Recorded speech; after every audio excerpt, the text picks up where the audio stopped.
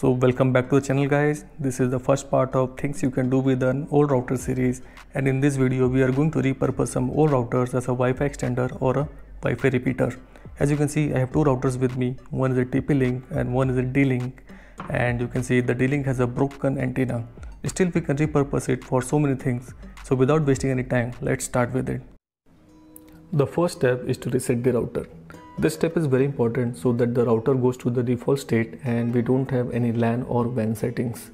To reset the router, you can use the reset switch which you can find inside a small hole either on the back side of your router or at the bottom of your router.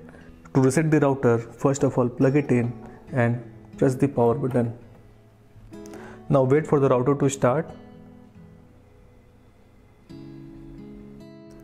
Once the router fully starts, which you can confirm by the stable power light and Wi-Fi symbols, you need to take any pointy thing and press the reset switch like this. Now keep the reset switch pressed for several seconds until the power LED goes off and comes back again.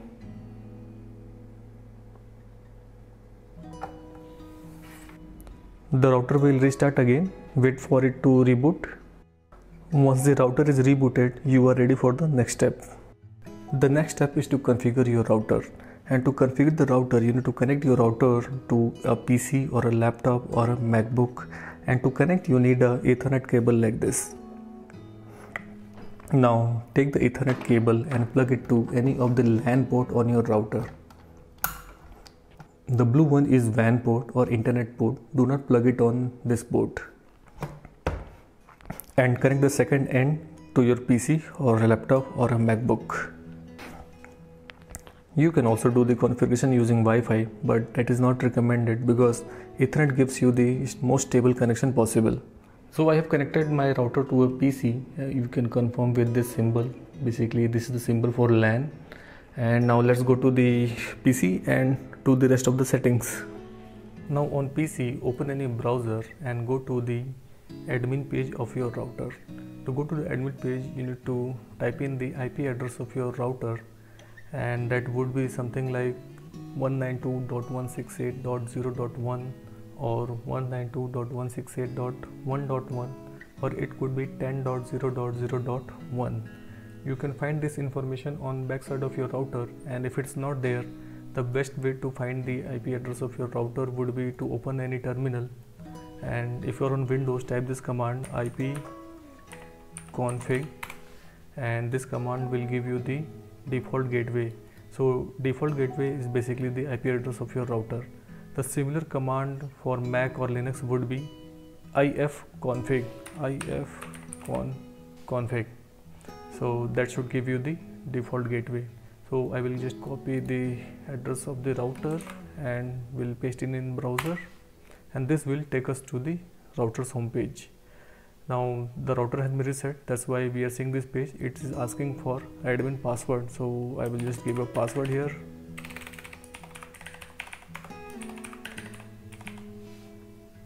And now the page will redirect to the quick setup page. So this page might be different for different routers but you have to look for few things which would be similar for all routers. Means uh, similar settings you can find for all routers. So skip everything just go to advanced and go to wireless settings and change the SSID name. So let me type something here.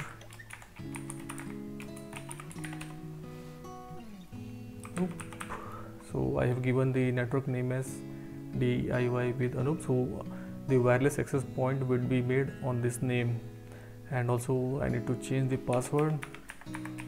For now I'm just keeping it 1 2 3 4 5 6 7 8 so this was for 2.4 gigahertz channel. Let me save the settings quickly. And I will do the same for 5 gigahertz channel.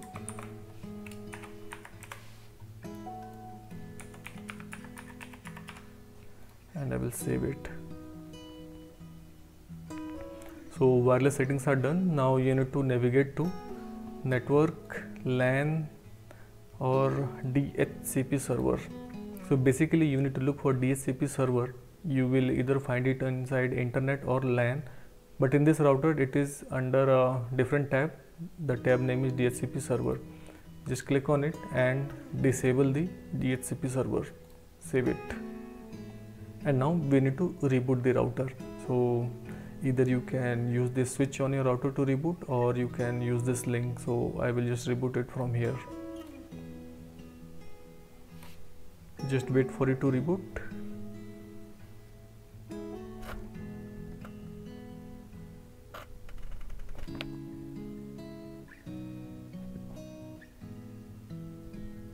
the router is rebooted. You will be redirected to the same page. Now you can close the browser and you are done with the configuration. Once you are done with the configuration now you need to connect this router to your main router. For that just take a cable ethernet cable from your main router and connect it to any of the LAN port. Remember to connect it to LAN port and not the WAN port. So now you have something like this. This is the cable which is connected to your PC and this is the cable which is connected to your main router. Now at this point either you can restart the router or you can just unplug the PC and connect it back. So this step was very important so that your PC will get another IP from your main router and not from this router. Since we have disabled the DHCP server on this router, so this will not assign any more IPs to any of the devices on your network. Now you can try connecting your mobile device to your newly created access points. So go to the settings, Wi-Fi settings and look for the access points which we created. So as you can see the Wi-Fi access points are visible now. Just click on it and enter the password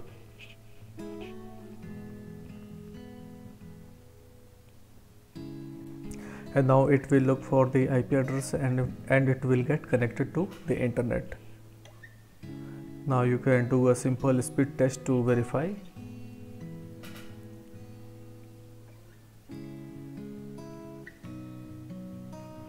So you can see uh, my mobile is now connected to the extended Wi-Fi access points and I'm able to access the internet.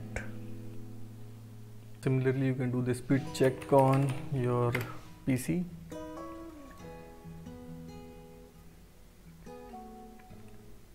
so you can see I'm getting full speed on my PC as well. So uh, that's all for this video guys.